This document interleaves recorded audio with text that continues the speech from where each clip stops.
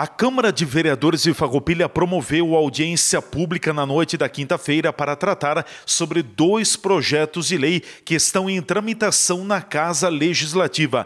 Um deles diz respeito sobre a não incidência de contribuição para melhorias em três vias públicas e o outro projeto de lei estabelece a isenção no pagamento do Imposto Predial e Territorial Urbano, o IPTU, para igrejas e templos religiosos que estão ocupando locais alugados ou locados. A audiência pública foi presidida pelo vereador Roque Severnini, presidente da Comissão de Finanças do Legislativo Municipal. O secretário de Finanças do município de Farroupilha, Plínio Balbinotti, compareceu ao Legislativo para explanar sobre os dois projetos de lei. O titular da pasta de finanças do município considerou bastante oportuna a audiência pública promovida pela Câmara de Vereadores de Farroupilha.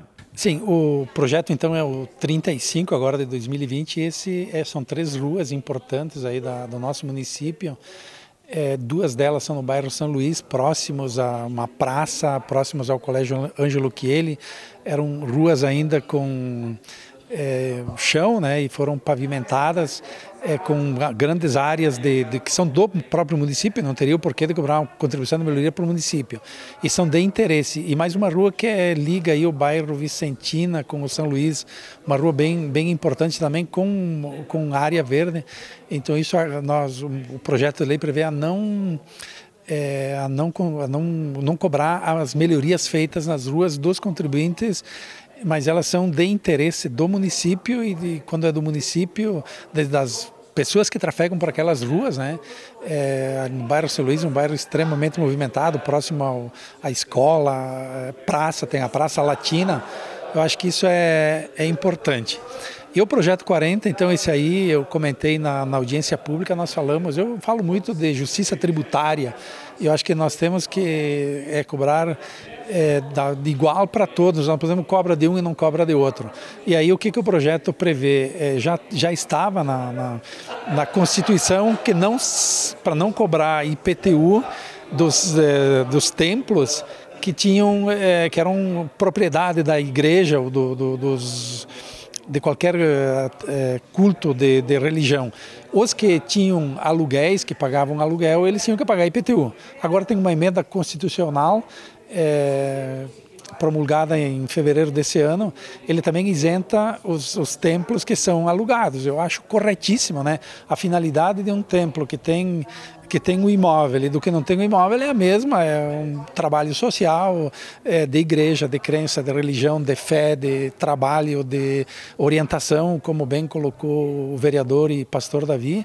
E aí para um tu cobra e para outro tu não cobra. E eu até comentei na audiência, é quem é, tem, a, tem a propriedade do imóvel não paga. Quem tem alugado, que em tese é, de repente é uma igreja que está se constituindo e tem uma necessidade maior estava pagando. Então esse projeto de lei acho que ele, ele vem em boa hora. É, essa essa essa contribuição ela sempre faz diferença para o município, né? mas não é nada decisivo. E eu sempre vejo assim, é, ao tempo que a gente não cobra, isso acaba incentivando e a gente tem um retorno de uma atividade social infinitamente maior do que a gente, na verdade, abre mão. É uma adequação à legislação nacional? É uma adequação a um projeto de lei 116 é, da Constituição Federal, foi promulgado em fevereiro desse ano. E de qualquer forma, assim, ainda que o município não, não quisesse, ele teria que isentar. O que é que nós fizemos? Nós apenas regulamentamos qual é a documentação que o templo religioso precisa apresentar junto ao poder público. Ele vai ter que, óbvio, contemplar, apresentar a documentação que, que diga lá que é um templo. Não dá para simplesmente dizer que é um templo e usar para outra atividade. Isso, uh, o projeto de lei nós estudamos, ele passou pela Procuradoria do município e a gente deixou regulamentado qual a documentação que deve ser apresentada e de quanto em quanto tempo deve ser apresentado. Então acho que está tá bem construído aí. A audiência pública com uma boa participação, eu acho que é bem legal isso aí. O vereador da Rede Sustentabilidade, que também é pastor, Davi André de Almeida, disse que a audiência pública trouxe para os pastores da cidade uma segurança e uma tranquilidade maior. É, primeiro, é uma grande alegria da Mate estar aqui na TV Serra, comunicando com todos os telespectadores.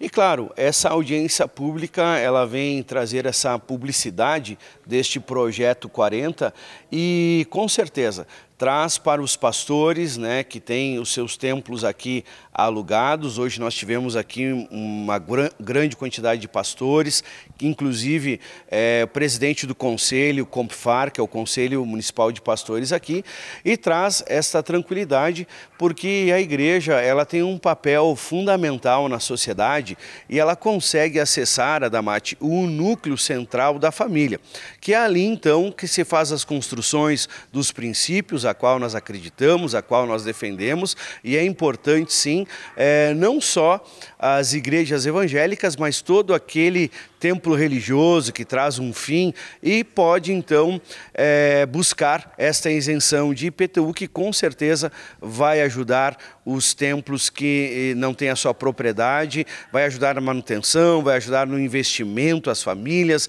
a distribuição de cestas básicas, vai ajudar ah, na remoção daqueles que estão na drogadição e assim a gente vai conseguir é, desempenhar o trabalho na sociedade. Na verdade são duas questões, tem que pontuá-las, né? Tem as igrejas que têm a sede própria, essas já estão sendo beneficiadas, né? O que estava sendo cobrado era o IPTU das igrejas que estavam é, alugando algum espaço físico para a realização das suas práticas. É nesse caso que entra a questão, né? E também tem toda a documentação, é bem tranquilo para pedir a isenção, né? Sim. Essa, inclusive, é uma pauta que eu defendi quando estava no pleito ainda para chegar à, à eleição de vereador, e eu já trazia isso como uma defesa para que a gente pudesse alcançar. Haja vista, como tu mesmo disseste, as igrejas com templos próprios, a legislação federal já nos alcançava este benefício. Agora, então, né, este artigo, é, parágrafo 1 artigo 156, então ele nos dá esse benefício de que então quem tem o seu templo alugado pode então agora também buscar essa isenção. Então é um projeto que eu fiz o um encaminhamento é, em 2021 ainda para o prefeito municipal, o prefeito Feltrin, e ele retorna a esta casa agora já amparado pela legislação federal e nessa audiência, então, nos credencia para que a gente possa colocar em votação nos próximos dias na Câmara aqui e, com certeza, vamos buscar a aprovação. Os pastores saíram satisfeitos daqui? Saíram felizes, saíram alegres, né? É a primeira vez que o Conselho Municipal de Pastores é, vem com força, com notoriedade, saíram alegres, porque vão conseguir levar para os seus fiéis essa notícia e com certeza vai agradar a toda a nossa comunidade farroupilhense.